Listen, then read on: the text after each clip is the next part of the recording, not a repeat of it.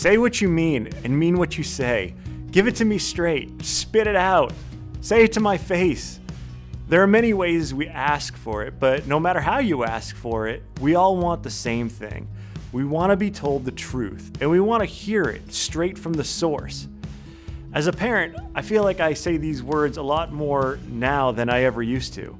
When my kids want something, I want to hear them say it, and I want to hear them ask for it properly.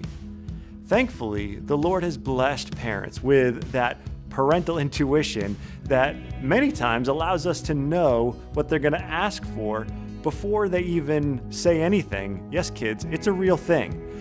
But that doesn't mean that we don't want to actually hear them say it. Unfortunately, this isn't something that we easily grow out of. Even as adults, when we have to talk to someone or ask for something, we begin to get a little anxious or uncomfortable, and we seem to talk in circles and take forever to get to the point, if we ever arrive there at all. Listen to the words of Paul in Philippians 4, verses 6 through 7. He says, Be anxious for nothing but in everything by prayer and supplication, with thanksgiving, let your requests be made known to God. And the peace of God, which surpasses all understanding, will guard your hearts and minds through Christ Jesus. I love these verses, even though I may not always be the best at following them. They perfectly spell out to us how to ask God for something Growing up, I remember a time in youth group when I was asked to close the night in prayer.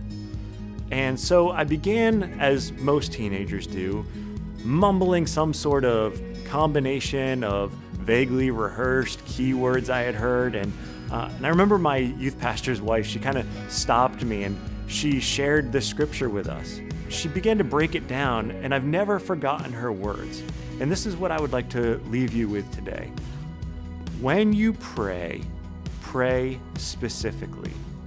No matter what you're praying for, from health and wealth to happiness or healing, be specific.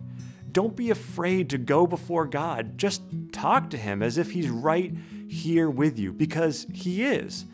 And when you pray, be sure to thank God specifically for the prayers He has already answered in your life and the things He has blessed you with. When you pray this way with a right heart and a grateful heart, trusting God and understanding that He is in control, He will give you a peace that is greater than anything that you can understand.